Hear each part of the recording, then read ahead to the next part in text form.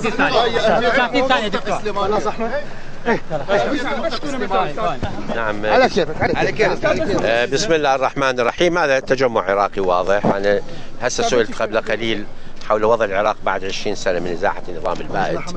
أنا قلت لهم بأنه كانت تحديات خطيرة عرضت وجود العراق للخطر بسبب إرهاب داعش جماعة النظام السابق إرهاب القاعدة كثيرون ذكروا أن العراق لن يبقى موحدا لن يبقى على الخارطة حتى بعضهم وضعوا خارطة العراق محروقة والعراق انتهى.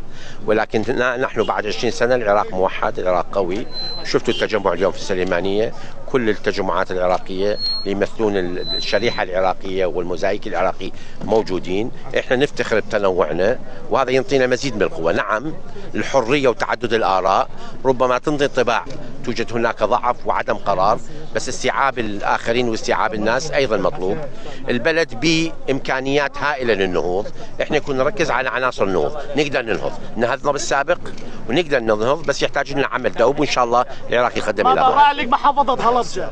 نعم هذا مفرح بصراحة الخبر. إحنا عملنا عليه بالسابق اليوم قرار مجلس الوزراء بانه جعل حلبشة آه، محافظة. بالطبع هذا أقل من استحقاقها حلبشة قدمت تضحيات هائله عن كل العراقيين عندما ضربت بالكيمياوي من قبل نظام البعث الصدامي. واليوم إحنا فرحين انه حلبشة تستعيد هذه مكانتها تستحق كل خير. تفضل دكتور. دكتور. دكتور.